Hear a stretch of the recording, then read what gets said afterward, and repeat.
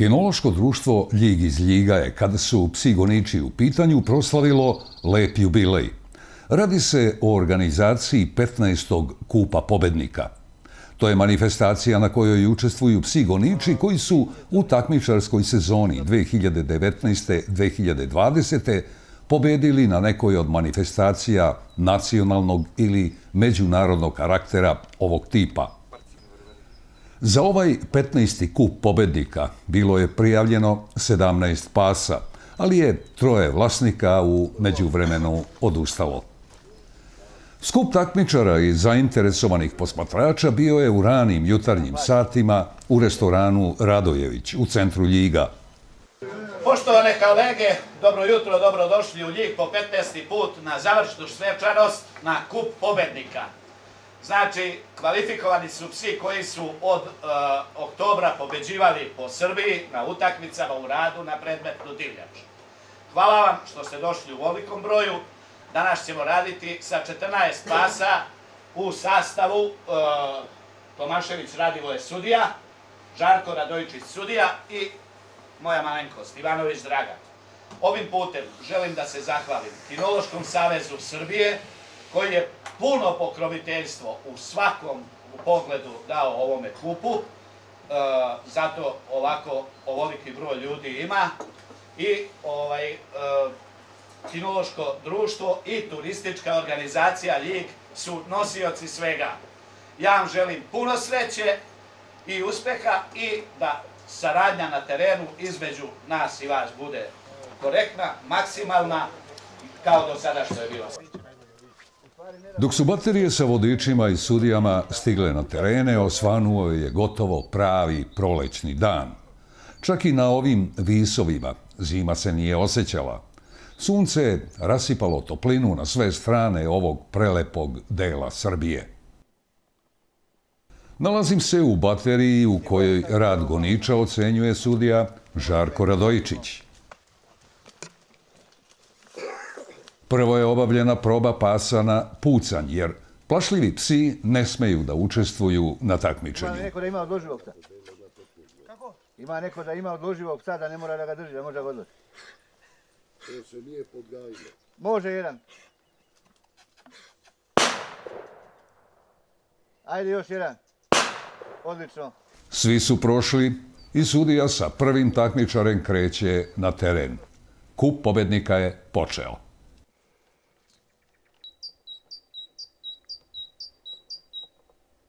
Život buja na sve strane. Zato se očekuje da će i zeci izaći bar u potrazi za društvom i igrom na suncu. U ostalom, zbog njega, zeca, baš ovde su se i okupile goničlije sa raznih strana Srbije. Ja sam Pavlović Marko, dolazim iz Blaca. E, vodim Kerušu Poslovski gonič e, e, po imenu Nita. E, Keruš, vlasnik Keruše je Saša Militić iz Ržanice kod Aleksandrovca, ja sam samo handler. E, je plasirana na utakmici u Blacu, Kinološko društvo Blace, u oktobra mjeseca. Pa očekujemo dobar rezultat, vidjet ćemo, e, puštamo e, rednim brojem 5, znači puštamo poslednju bateriju i nadamo se dobrom uspehu. Dobar dan, ja sam Luka Bojević iz Čačka, selo Trbušani 32.205. Ovo je kuja cura koja ima 11 godina.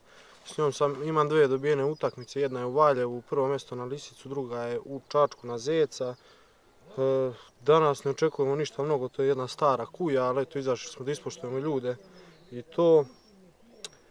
Šta još ima da kažem za ovo takmičenje, pa jeste ova manifestacija super, takmičenje se održava.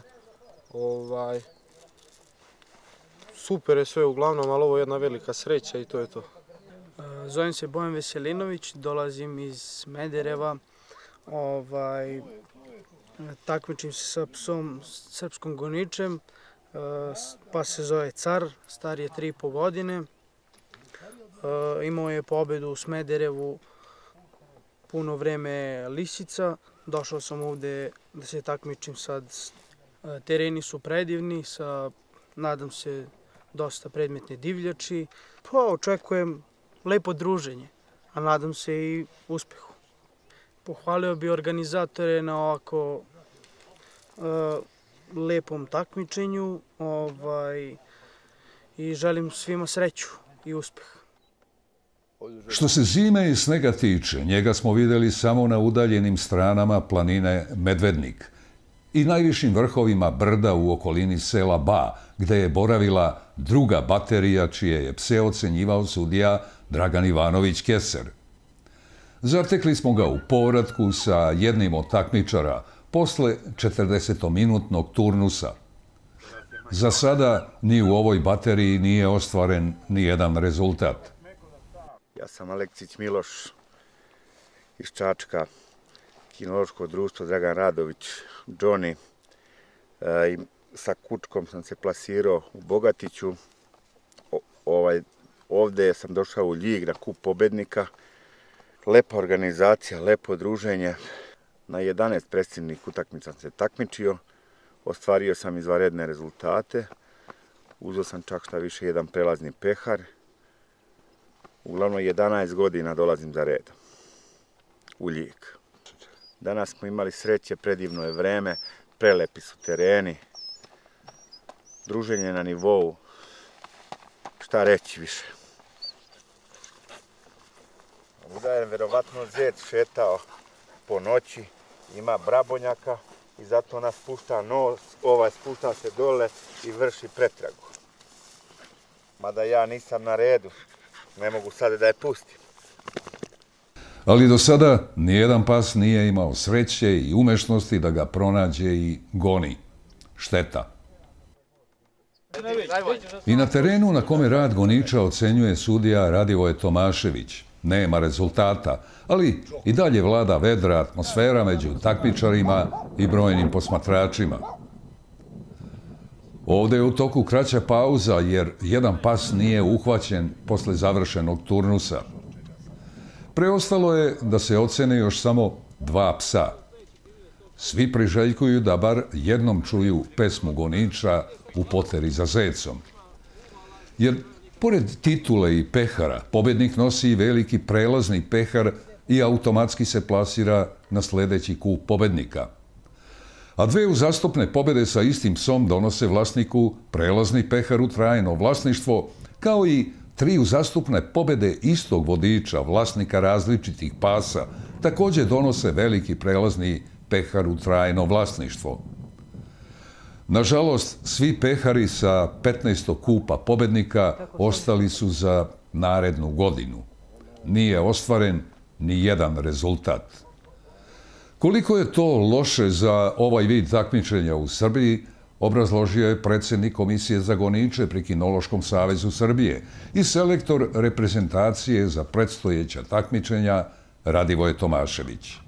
Moramo da shvatimo jednom da pas koji ide na utakmicu treba ga spremati na utakmicu, a odvojiti lovnu kinologiju, lov i utakmicu.